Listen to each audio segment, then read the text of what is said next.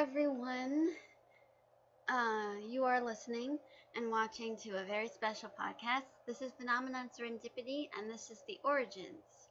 So, the tragedies that were based off things that I saw on TV in real life, it really was very much of a shock, and I was really inspired. So I was like, okay, what the heck?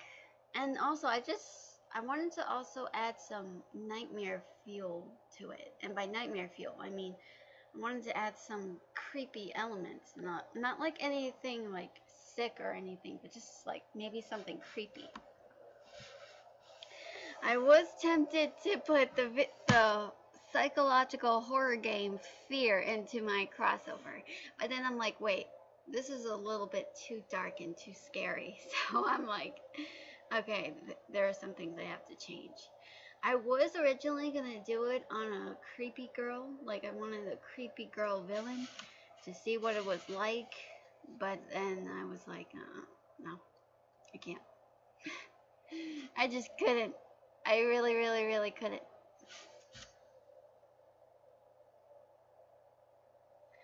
So then I go, okay, here's what I'm gonna do. Maybe I can try to create some creepy girls and create something. And I listened to the song Wonderland by Natalia Kills. She's actually a um, British American young lady. She had some pretty good music, even though people never heard of her. And if some people did listen to her music, they would describe her as a dark version of um, of Lady Gaga, but she says, "Oh, I'm nothing like her." anyway, um, so I decided after I heard the song Wonderland, I decided to like make some creepy girl villains based off the whole uh, Snow White and Little Red Riding Hood, Cinderella, Rapunzel, and Sleeping Beauty. So I decided to create some names, and I chose Valissa I chose Maggie. I chose I I couldn't remember the one for um, Cinderella, but I bet it must have been Ashley because Cinderella and Ashley are the same because cinder in Cinderella actually is another word for like cinders. And also Ashley, which means ash meadow or ash fields. Um, they were like almost the same because cinders is another way of saying ashes and ashes is like cinders. Anyway I don't want to cause any confusion. Um, for Rapunzel I decided um, Sadie Towers. So I was like okay Sadie Towers. Like how am I gonna make this work? And I wanted to create a background story so, um, for Valissa, I came up with the idea where she's struggling with a disorder that involves with her drinking blood or any raw meat and then she becomes almost vampiric. And for Maggie I was actually inspired from this movie trailer I saw called Cherry Bomb and it was an indie flick, and it was about um, uh, there were there were two different movies that had the same name but with different stories. Like um, one of them was an indie flick about a stripper who was attacked by five men, and now she's out to get her revenge.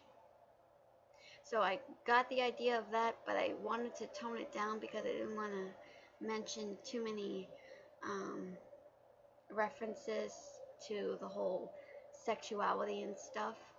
For Sadie Towers was kind of inspired by Christina Crawford, who is the daughter of uh, Joan Crawford. And I created this kind of based off Christina Crawford and also um, Vivien Leigh.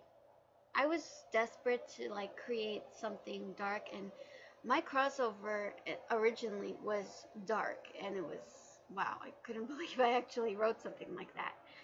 Um, anyway So after I did a bit of research and I watched a documentary on YouTube about Vivien Leigh, and all of a sudden, like after I heard what happened of how she got bipolar after the miscarriage of her baby, like her second child, while she was doing the movie of Cleopatra, Queen of Egypt.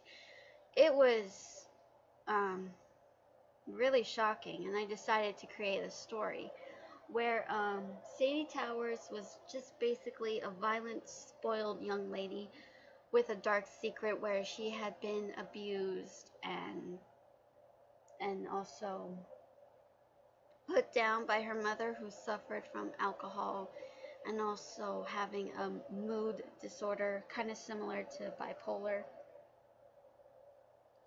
And in the story like Barrere Devlin like I had to come up with a name for her.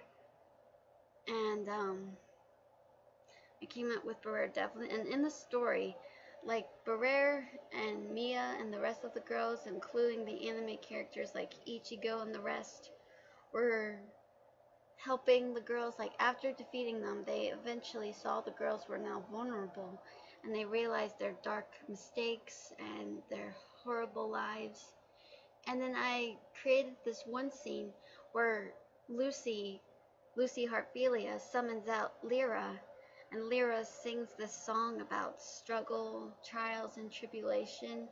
And all the girls that listen to it, like the dark, troubled girls like Sadie Towers and Maggie, all of a sudden, when they hear that song, all of a sudden they think about their own lives. And then they begin crying and they became good people. But Katrina, who originally was a villain in my original crossover making, wasn't too pleased and she wanted to destroy everyone. And then she gets defeated, and after she's defeated, she's like, oh my god, what have I done? And yeah, I created this dark crossover. But when I realized how dark it was, I was like, okay, I'm going to have to try something else because this isn't working. So, but then I had other ideas in mind. And we're going to find out soon enough. So stay tuned for more. We're not done yet. And I hope you guys like it. See ya.